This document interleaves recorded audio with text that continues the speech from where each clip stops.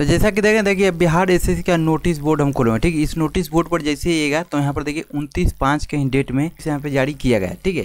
जैसा कि देख रहे हैं नोटिस बोर्ड हम खोले हुए हैं बिहार एस का, और यहाँ पे आएँगे तो उनतीस पाँच के डेट में विज्ञापन संख्या ज़ीरो दो अबली तेईस, यानी दो हज़ार तेईस, के इंटर स्तरीय को फॉर्म भराया था, उसके रिगार्डिंग फिर से एक नया नोटिस आपको जारी किया गया तो चलिए इस नोटिस के रिगार्डिंग बात करते हैं। तो जैसा कि देख रहे हैं, इस नोटिस को हम डाउनलोड कर चुके हैं, ठीक है? यहाँ पर नीचे आएँगे तो यहाँ पर जो बताया गया आपका, जी, जितना भी कैंडिडेट अभी तक डॉक्यूमेंट अपलोड और फॉर्म को फाइनल सबमिट नहीं किए हैं तो यहाँ पर जो डेट आपको रखा गया है, ग्यारह छः दो हज़ार चौबीस तक आपको रखा गया है। ये डेट आपको बढ़ा कर रखा गया है, ठीक है?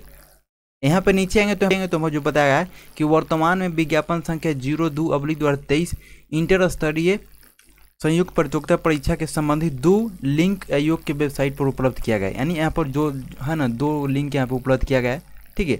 अब यहाँ पर देखिए, एक नंबर पॉइंट में जो लिखा गया है कि आयोग के आवश्यक आवश्यक सूचना ज्ञापांक इतना इतना के दिनांक, इतना इतना द्वारा प्रदर्शित सूची में अंकित ऐसे सत्ताईस हज़ार नौ सौ पैंतीस भारती जिनके द्वारा निर्धारित अवधि में परीक्षा शुल्क जमा करने के उपरांत अंतिम रूप से आवेदन समर्पित यानी फाइनल सबमिट नहीं किया गया है, उन्हें आयोग के लिंक इतना इतना पर जाकर आपको पान पत्रों को अपलोड करना है फॉर्म को फाइनल सबमिट करना है। ठीक है तो ये उसका देखिए दो नंबर पॉइंट में ये लिखा गया है कि जिन अभ्यर्थियों द्वारा पूर्व में अंतिम रूप से, ठीक है, मानो यहाँ पर जो लिखा है कि जिन अभ्यर्थियों द्वारा पूर्व में, जो पहले से फॉर्म को फाइनल सबमिट कर चुके हैं, उनके लिए बताया गया है कि पूर्व में अंतिम रूप से ऑनलाइन आवेदन समर्पित किया जा चुका है उन्हें ऑनलाइन आवेदन की टूटी में सुधार एवं सभी प्रकार की पान पत्रों को अपलोड करने हेतु आयोग के लिंक इतना पर जाकर उपयोग करना है।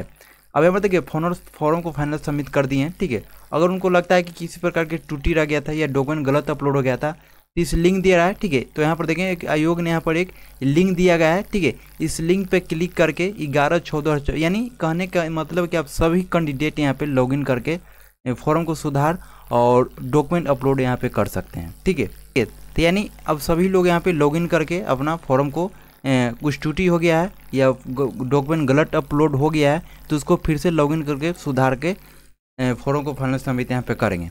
ठीक है? तो ये नोटिस आपको, तीस नोटिस के रिगार्डिंग आपको यही बताया गया था। ठीक है? तो चलिए इस वीडियो में ही और मिलते हैं फिर एक वीडियो के साथ। और बात करते हैं, बात करते हैं एग्ज़ाम डेट के बारे में एडमिट कार्ड के बारे में।